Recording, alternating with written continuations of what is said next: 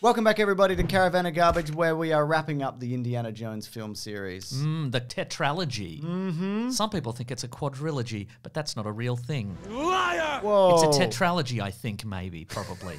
I admire your confidence. Thanks. You feeling confident enough to allow everybody to leave a like on this video? yes? Great! So, Mason, Yes. Indiana Jones in the Kingdom of the Crystal Skull. Yes. Finally, we got here. The good one, finally.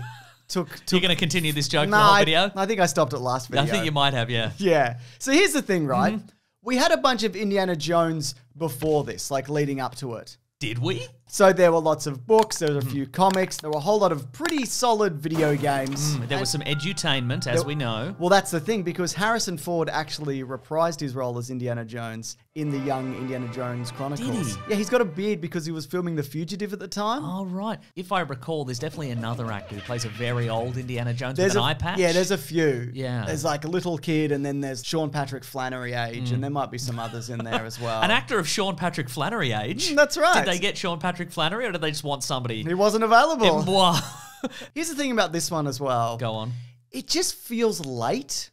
I feel like they missed a okay. trick making one in the mid 90s to make it feel Okay. like the old ones. Let me ask you this about this movie particularly. Yeah. Having just rewatched it, presumably recently, Mm-hmm. what do you think about it now?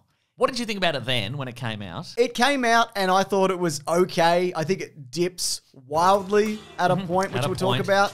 And then we I. might have the exact same time code. That's right. And then I spent a long time like really not liking it. Mm. And watching it again, I'm like, it's fine. Yeah, look, I remember intensely disliking it when it came out. Mm. I haven't seen it since. I didn't see it again at the cinemas. Why would I? Yeah. Mm-hmm. Didn't see it on the, any kind of home media. Didn't watch it on VHS. Yep. Uh, so this is my first rewatch, and I think a lot of it is pretty good. I get it. So you know, you know what I, I think? I think he's maybe tricking some people. Yeah. the uh, movie has moved to the 1950s, Mm-hmm. and everybody seems a little bit more colourful. It's less of a grubby universe, I think. Yeah. And I think people are like, this looks, this has an unreality to it. I don't think the unreality is a result of the era because I don't hate the concept of this. Oh no, there's two. There's two unrealities to this.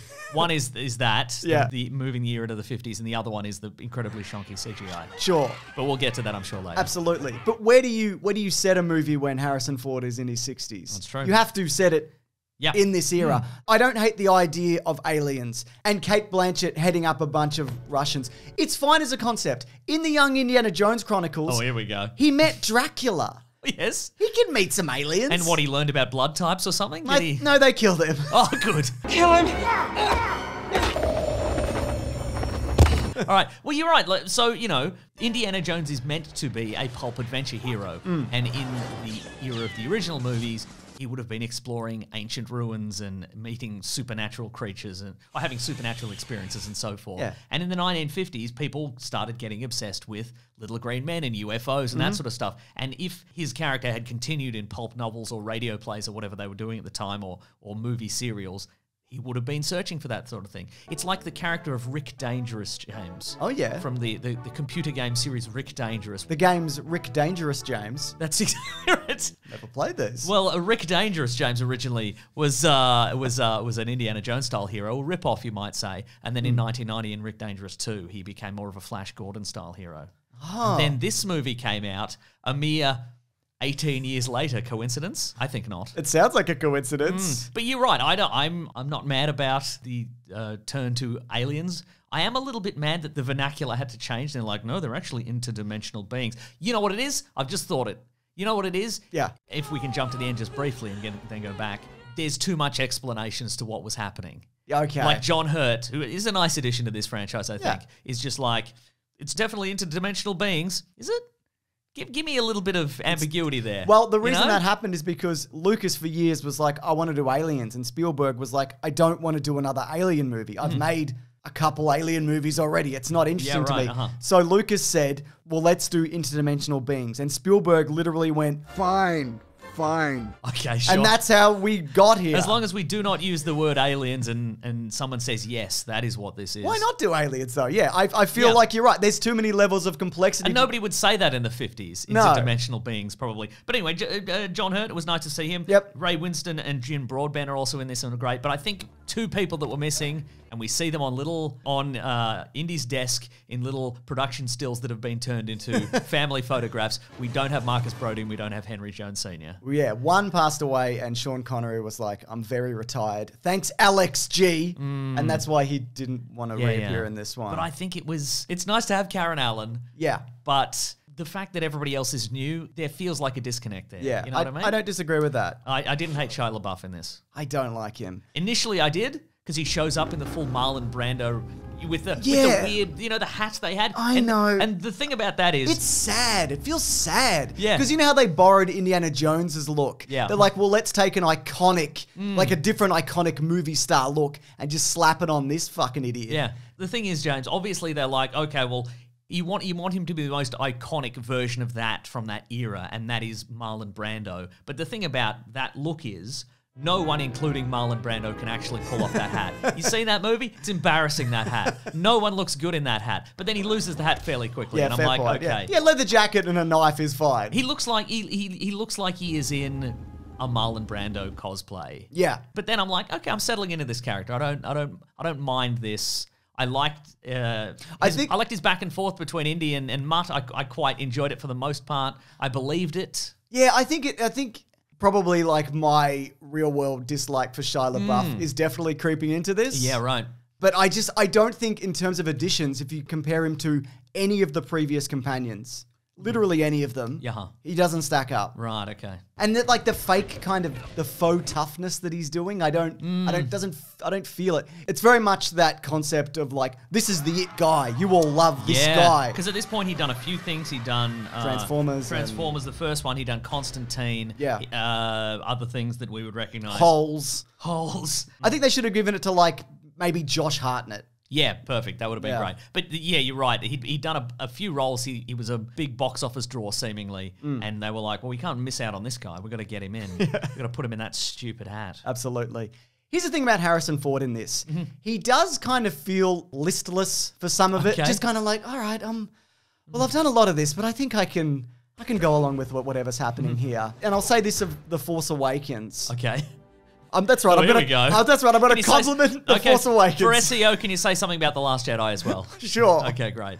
That Controversial. there's an energy that Harrison Ford has in The Force Mm. Awakens, which I don't feel is here. Right, yeah, yeah, yeah. But that being said, I think he looks good. Mm. Like he looks strong. I remember him looking a lot older yeah, right. than like seeing it now. I'm like, oh, he looks terrific. Yeah. Like he's clearly like he's kept up with it. There's a moment at the start where you just see him like climbing some boxes, and he's just he's just moving really well. You'll believe a man can climb some boxes. But a guy that age moving like that, that's hmm. unusual. There's a moment where he's just in a white t-shirt. He Yeah. looks fucking He incredible. looks incredible. Yeah. And he's facing off against, you know, some of the most intense actors from network television at the time. the janitor from Scrubs. Yep, absolutely. Who I love. Uh, some other guys. The guy from the OC, Alan Dale. That's right. Australia's own Alan Dale is in that room. Neighbour's own Alan Dale. That's true. I also feel like there's an in-canon reason for why Indiana Jones is still like this. Roids. No, I'll talk Oh. about, but maybe I'll talk about it later. Here's the thing I do like about Mm-hmm.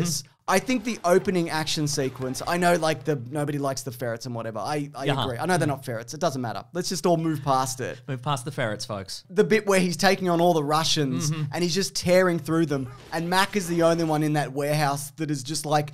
This is a fucking lunatic. Yeah, uh-huh. You need to back up from this guy. He's Right. got to kill all of us. Yeah, yeah, yeah. He- You can see the rage rising in him, and he's going to snap. He's going to do one of his signature big punches. That's right. And you are all in a lot of trouble. He's going to punch three to four of you at a time. Yeah. yeah. When, when he comes out of the when he comes out of the trunk of the car, Mm. you know what's interesting about that sequence, and I never I hadn't thought about it. Right at the start, there's the moment where the teens go past in their car. Yeah. and you think something is going to happen.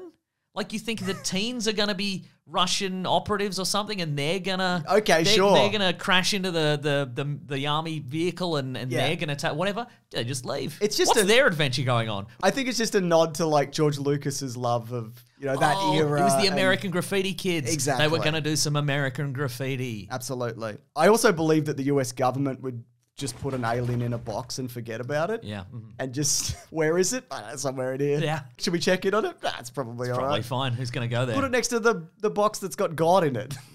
I love that. I think that's great. What if the alien and God have a conversation? They want to get out of here. well, we locked the boxes, so Yeah. and we put some other boxes on top of those boxes, so Yeah, exactly. they're not getting out. Speaking of boxes, the fridge moment. Yeah.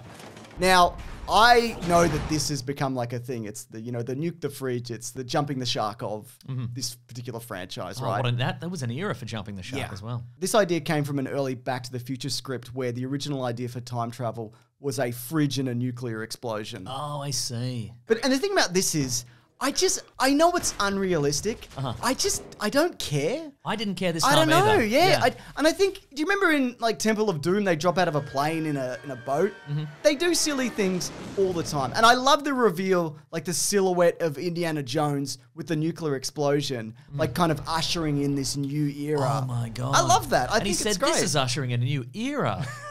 Is it good? Well, it's been better, but this is definitely a new era. Wow, that can really do more than one old man with a whip. I feel a little bit uh, past my use by date, honestly. You know what he should have done? Jumped in the Ark of the Covenant. Yeah, absolutely. He should have taken a, a nuclear powered journey with God and they could have had a chat. But the thing about this movie is, Go on. As it goes on, the the modern kind of effects of the day and style kind Mm-hmm. of takes over. There's that soft The Hobbit kind of glow. James, it's one hour and 20 minutes. Is, is exactly when it happens. They end up in the jungle. Yeah. There's a chase. There's a big cutting machine, a Yeah, big the- CGI cutting machine. The thing about that scene is also, it doesn't look bad all of the time. Mm. They really did have a stretch that they ran back and forth through. It was like the scene in The Matrix Reloaded. where it changes to CGI When in it's, the big it's. Neo fighting all the Agent Smiths, and he's fighting about 20 Agent Smiths, and they're all real stuntmen. And Yep. then they're like, okay, bring in 50 more Agent Smiths. And obviously, there wasn't enough room on the basketball court. Hugo Weaving doesn't have that many brothers. That's true. They, they had to cut it He short. has cousins, but you know, he's beefing with those cousins. So he's got a lot of cousins, man. Yeah. Um, and so they just switched to all CGI, and it just you can immediately tell. the tell. monkeys and the swinging and Yeah, yeah, yeah. The no. monkeys. The, the the point at which Shia LaBeouf is is doing the splits between two different Yeah. jeeps while sword fighting, and he keeps getting hit in the nuts with branches, and he's still doing. What is? No, Yeah. that's I mean, you do that for real. Yeah. that's the best stunt of all time. absolutely. you know? Jean Claude Van Damme would do it. You know, to advertise a, a mineral water or something. or Mint Mobile or something. Mint Mobile, but you, but it's not real and it doesn't look real. Yeah. It doesn't have any weight to it. Yeah. and they continue that with that for a lot of it. There's even the scene at the end where they're all sort of like sitting around in the ruins and they're like, "Boy, that was a big adventure we had." And you'd be, it'd be you'd be like, "Yeah, it, it was," but it's undercut by the fact that they're they're nowhere. Yeah. they're in a void and there's some brickwork and the rest is green screen. Yeah. and you couldn't go to a real place for that. a place. Top of a convenience store. Boy, sure had a lot of adventures here. Boy. I bought a T-shirt down there. Isn't this where they film Clerks? Boy, what an adventure. That's right. The thing is, as well, and this really surprised me, Spielberg didn't shoot this movie in digital. Mm-hmm. And this was in the era where they were doing that. Like Mm. the previous two Star Wars movies had done it. And here's a quote from him that says, It looks like we shot it three years after Indiana Jones and the Last Crusade. You'd never know there was 20 years between shooting. And that might be what the raw footage looks like with Mm. a bit of tweaks, but that's. You can tell. Yeah. You can really tell. I know you mentioned Mac and you're like, I like him or whatever. I just Who's don't. Mac? Uh, Ray Winstone. Oh yeah. I don't think he's funny Uh-huh. or interesting. Hmm. Again, it's that layers upon layers of like, I double crossed you. No, I'm a double agent. I'm a Hmm. Yeah, triple right, agent. uh-huh. Whatever. It's just like I don't know. I think they just because they were like part of the trope of Indiana Jones is somebody's going to betray him at some point, so they had to throw that guy in. Okay, I great. Think. But it, he's again just as a as a general companion who you meet along the way, he's no Jonathan Rhys Davies as an example. I think if maybe if they had kept them side by side, why don't he have a, why don't he have a photo of Jonathan Rhys Davies on his desk? he probably did somewhere amongst It's got the, the boom. mic. papers. It's got the boom mic in the frame. It's just like whatever. Take it from the making of. We don't care. I also feel like where this falls down is that it's really light on the horror elements of the previous Yeah, movies. mhm. There's a moment where a bunch of Russians get torched by a jet engine. Yeah. And it just feels like some guys just being engulfed in CGI flame and nothing. Like Uh, the- the fire ants or the the, the Yeah. giant ant situation. exactly. Much better, I feel, than the CGI rats from uh, the third movie, Mason. Oh yes. Yeah. Remember when I said that and a lot of people yelled at me that they weren't CGI? I just want people to know that's a thing I believe. You didn't miss a joke that Okay, I terrific. said. Not you. Mason. I'm telling everybody. I miss tons of jokes. Yeah. And you know it ends with Cate Blanchett. It's it's it's a lot of power and I want all the power, but it's too much power, Mm. Yeah, etc. yeah. And Her head should have popped. yeah. Just bam. Yeah. Just spread it all over the, the aliens, and they would have been like, Bleh. Yuck. But again, like the and, and when we get to the end, when it all forms up and there's literally a little grey man there. Yeah. g- give me more ambiguity. You know what Sure. I mean? She sees something and we don't know what it is. I think Yeah. that would have been better. Okay, fair enough. know? But there is some good practical stuff in this. Mm-hmm. Like, for example, those guys who live in a wall. I want to know, like, how does that day start? Like, you pack your little lunch and you That's go and right. crawl into a wall? Yep. Is that how that's Yeah, that yeah. how your day starts and ends? Mm-hmm. Pretty cool. You clock in like those um those Warner Brothers cartoon dogs that, that hate each other or whatever, you know? Chunk.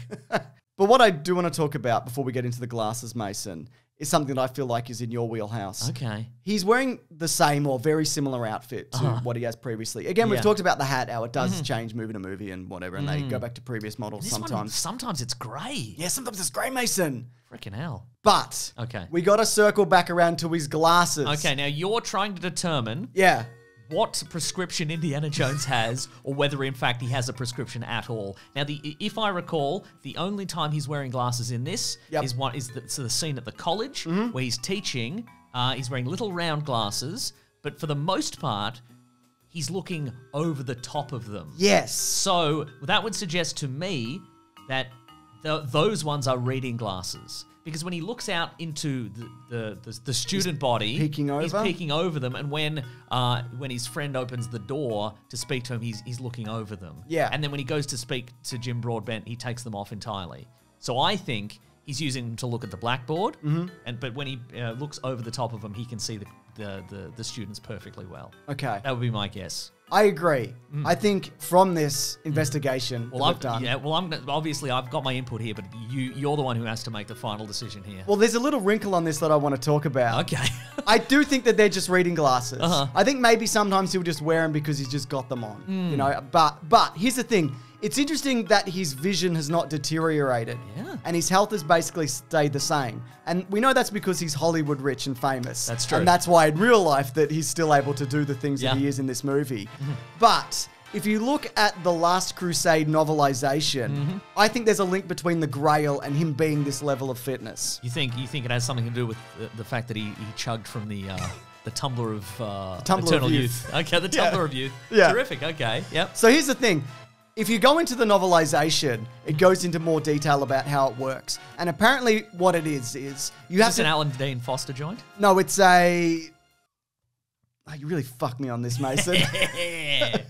Robert MacGregor. Okay. All right. Yeah. So what you basically have to do, what the knight had to do was drink every day, and if Mm-hmm. you drink from it every day, you retain your youth. Okay. But the longer that you drink from it, and if you pause drinking, then your age catches up to you the longer you leave it. I see. So the knight apparently had a few crises of faith, and that's why he aged. He Uh-huh. Basically took a couple of days off, and then went, "No, I love God, actually," and he kept drinking. But then, Do you love God or do you love your perfect skin, mate? Great question. Yeah. But what it does do, even if you drink from it once, Nice. any injuries or diseases that you have, it clears up and gives you an absolutely fresh bill of health. So this is we can break Indiana Jones's life up from before Yeah. BC before Crusade Yep. and AD Yep. after drinking after drinking from a big st- stone cup. Exactly. Okay, so so potentially Essentially, he got a reset. yeah, so his prescription after that is not necessarily the same as the one before. No, I Mm. would say it's very possible, and there's probably comics and novels that say the opposite of this. That that fixed his eyes, and then the 19 years in between, his eyes basically went back to where they were slowly. Yeah, right. Yeah. So it didn't youthify him. It basically Hmm. just just clean bill of health him. And it potentially, when he looked into the crystal skull, Mm. that gave him LASIK. so maybe his vision's perfect now because he didn't use he didn't use glasses after that at all, did That's he? true. Not even at his at the wedding. He wasn't wearing. Not them. even at the wedding. Hmm. And it's interesting that Sean Connery is dead in this movie because he also drunk from the Grail. Oh yeah. Which makes me think he got hit by like a bread van or something. sure. is all I'm saying. So yeah, anyways, it ends with like it's too much power. Ah, why did I absorb all this power, etc. Hmm. And there's a moment where Mac just falls over, and I just was thinking to myself, "Hey Mac, get up, just get up." Yeah. Uh huh. And he's like, "Ah, this is. I think I'm all right. He's gonna stay here, I reckon." Okay, so do you think he he heard you? no, he didn't get up. He flew Oh, into yeah. the vortex. Oh yeah. I think a stone probably killed him. Oh yeah, that's actually probably true. Yeah. Anyways, Mason, it's time for Indiana Jones and the trivia of the Crystal Trivia. I love that. the trivia segment of the show where we go, wow, new trivia. Pretty good. Not necessarily new, but but it is trivia. Hmm. So when Indiana Jones is referring to being kidnapped, he's referring to the adventures of young Indiana Jones, the episode Spring Break Adventure. Whoa. So those are all canon. Interesting. Except for the old Indiana Jones eye patch stuff, which George Lucas put in, and everybody complained within the studio because they don't line up with the stories properly. Ah, I so they end up taking those out. But the He's rest, got perfect vision after the crystal skull laser thing. that's right. Why would he need an eye patch? Yeah. Harrison Ford was apparently adamant that he got to wield Indiana Jones's famous whip. Paramount executives wanted the weapon to be computer generated because of new movie safety rules, but Ford branded this rule ridiculous. You'd never get away with making this movie now, though, I tell you that much, Mason. That's right. Not with today's culture. You'd never make Kingdom of the Crystal Skull. That's right. You couldn't have a whip. You'd have to have um. An equality whip. You'd have to have an equality whip. You'd have to whip every single person equally. That's good. That's good, I think. Yes, it's good. Sean Connery turned down a cameo because he was enjoying retirement too much, and Alex G fucked him up. But John Rhys Davies was also approached to cameo at the wedding at the end, mm-hmm. but thought it would cheapen the character, so decided not to. Probably a good call, honestly. These were some of the titles that were considered for the movie. This one's from George Lucas Indiana Jones and the Saucer Men. Steven Spielberg's was. Oh yeah, no, all right. Yeah, it's fine, right? Yeah. Mm. Steven Spielberg's idea was Indiana Jones and the blank blank of the Mystrians. He was going to fill in later. I'll do it on the day. Yeah.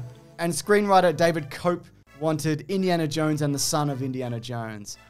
I don't think that's real. No. That sounds made up. Speaking of son of Indiana Jones, Mason, Mm-hmm, this is what Shia LaBeouf said about this movie. He's this movie's biggest critic. Oh. Mm. Because I feel like with some distance, and we've seen this with other movie franchises Yeah, before, yeah. a lot can be forgiven. I you think know? with a judicious edit, a Yeah. lot of this could be fixed. If instead of fighting while doing this the splits on the top of a couple of jeeps, he dies. he just dies straight away.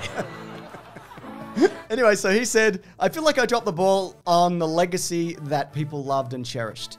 You get the monkey swinging and things like that, and you can blame it on the writer and you can blame it on Steven, but the actor's job is to make it come alive and make it work, and I couldn't do it. So that's my fault. Simple. Now, as a result of this, apparently this destroyed his relationship with Spielberg. Because also, Spielberg obviously had a hand in the Transformers movies sure as did, well. yeah. Yeah, yeah. I mean, very loosely. Yeah. Don't blame him for that. Though he did pick Michael Bay. ah. Yeah. Harrison Ford said this of Shia LaBeouf.